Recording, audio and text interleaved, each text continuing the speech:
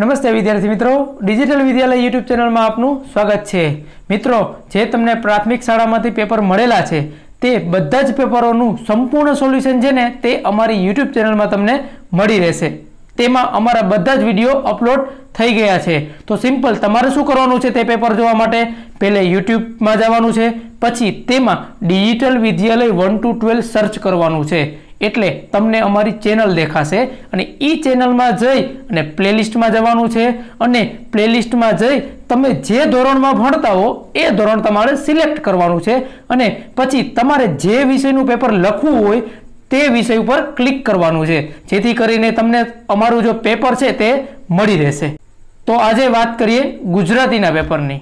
મિત્રો, આપણે ચાલુ કરીએ ધોરણ ચાર, ગુજરાતી વિષય, પ્રથમ ભાષા.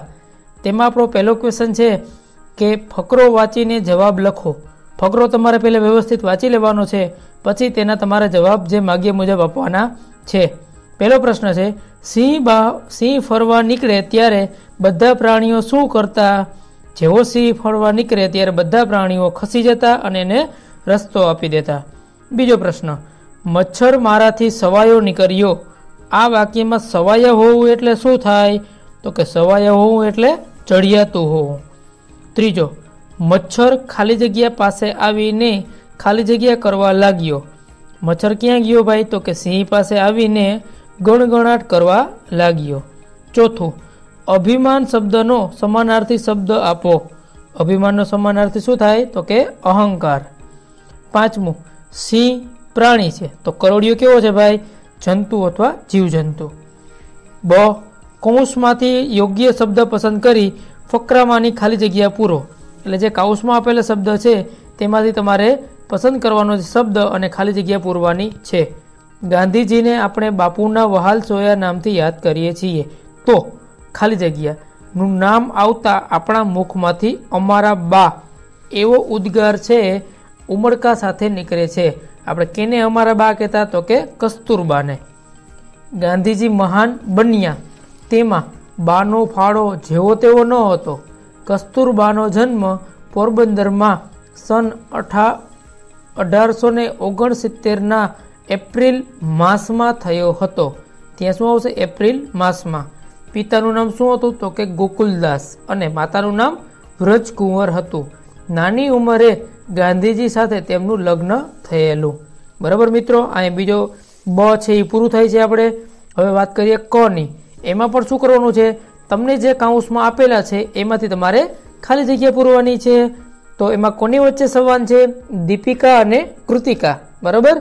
જો બંને સાવ નામ નજીક નજીકના નામ એરી છે, હો. આજે અમારે શાળામાં વહેલા જવાનું છે. તો કૃતિકાએ શું કીધું? કેમ તમારે પિકનિકમાં જવાનું છે? તો દીપિકા કે ના ના, સર, સ્માર્ટ ક્લાસમાં અંગ્રેજી બોલતા શીખવવાના છે. કૃતિકા, હે? આવા પણ ક્લાસ હોય? દીપિકા. હા, પણ મને તો પિકનિકમાં જવાનું બહુ ગમે. તો કૃતિકા એમ કહે કે, તો તું કેમ નથી જતી? અરે દીપિકા કે, અરે, મારી મમ્મી છે ને, તે બસ ભણવાનું એટલે ભણવાનું જ કહે છે. કૃતિકા કે, તું સમજાવજે કે પિકનિકમાં પણ બધું શીખવાનું જ હોય છે. દીપિકા, હા, હું જરૂર સમજાવીશ. કૃતિકા, તારા મમ્મી ના માને તો તું મને બોલાવવા આવજે. બરાબર? આ રીતના તમારે આખે આખો સંવાદ લખવાનો છે. તમને જવાનું ગમે ને પિકનિકમાં? બરાબર? હાલો, હવે આપણે પ્રશ્ન જોઈએ બે. અ.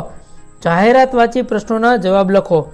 ટૂંકમાં જો એક આ જાહેરાત આપેલી છે, કેના વિશે છે ભાઈ? તો કે પુસ્તક મેળા વિશે જાહેરાત છે, તે વાંચીને તમારે તેના જવાબ લખવાના છે. બરાબર? તો પહેલો પ્રશ્ન જોઈએ. કયા પ્રસંગને ધ્યાનમાં રાખીને પુસ્તક મેળાનું આયોજન થયું છે? બરાબર? તો કયો પ્રસંગ છે ભાઈ? તો કે વિશ્વ પુસ્તક દિન નિમિત્તે પુસ્તક મેળાનું આયોજન થયું છે.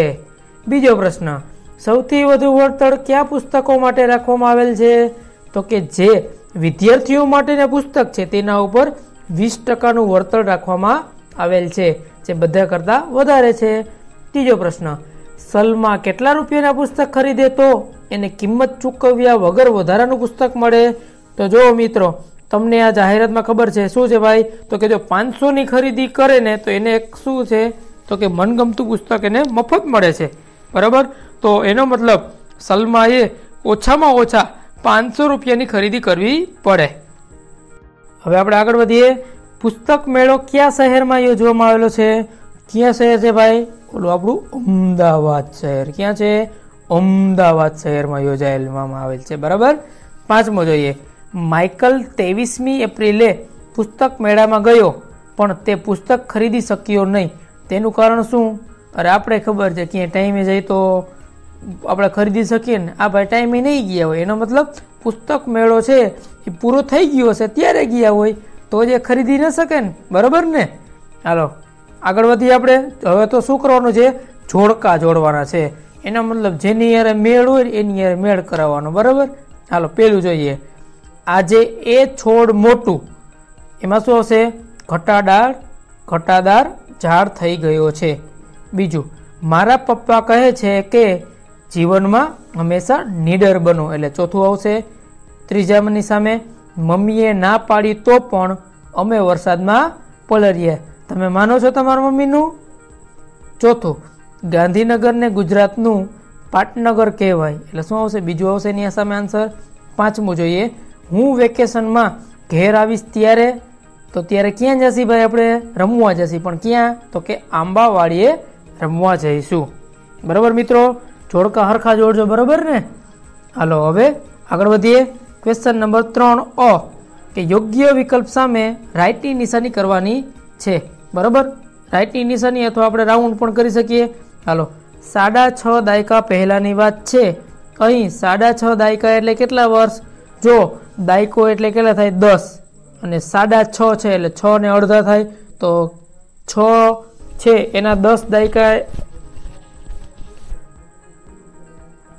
છ છે એટલે છ ના દસ એટલે છ દાય સાઠ અને સાડા એટલે અડધા થયા, તો સાઠ ને પાંચ, પાસઠ વર્ષ થશે. બીજો, તેમનામાં અખૂટ શક્તિ અને શ્રદ્ધા હતા. અહીં અખૂટ એટલે શું? અખૂટ એટલે શું થાય? તો કે ખૂટે નહીં તેવું. બ, શબ્દોનો ઉપયોગ કરી વાક્ય લખો.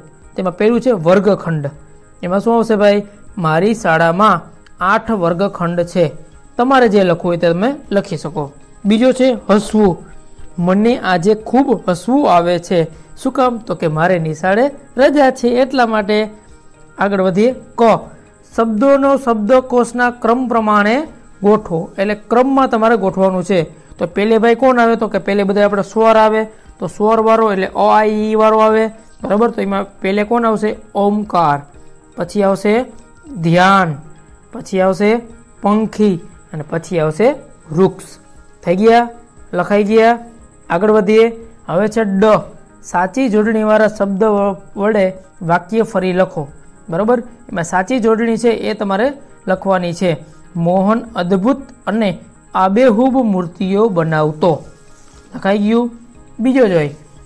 હોશિયાર માણસોને તો એ બોલે ચાલે તે પરથી ઓળખી શકાય.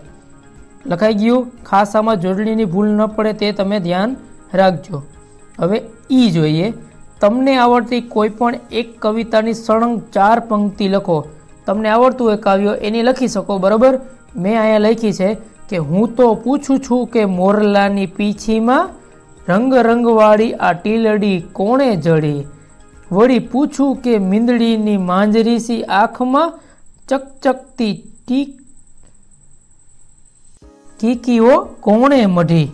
પ્રશ્ન ચારની વાત કરીએ, તે આપણો છેલ્લો ક્વેશ્ચન ગમે તે એક વિષય પર પાંચ વાક્ય લખો. બરાબર?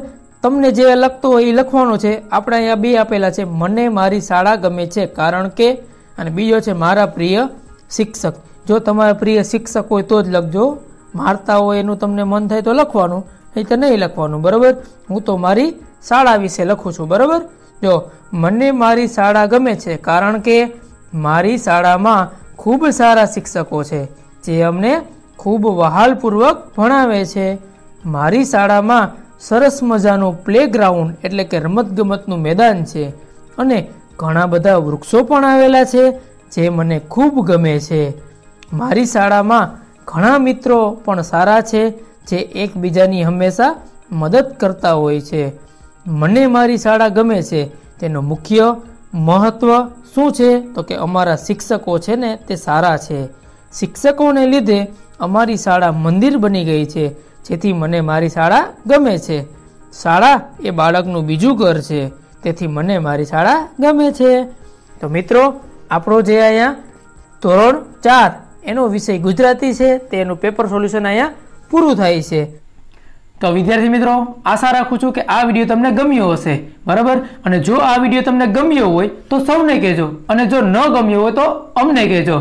તો મિત્રો, તમે જો અમારી ચેનલ સાથે ન જોડાણા હો, તો સબસ્ક્રાઈબનું બટન દબાવી લેજો અને બાજુમાં આવેલું બેલ આઇકોન ઉપર ક્લિક કરી લેજો. જેથી અમારા જેટલા પણ વીડિયો અપલોડ થાય તે બધાની નોટિફિકેશન છે એ સૌથી પહેલાં તમને મળતી રહે. તો મિત્રો, વેકેશનમાં મજા કરજો, આવજો. જય હિન્દ, જય ભારત.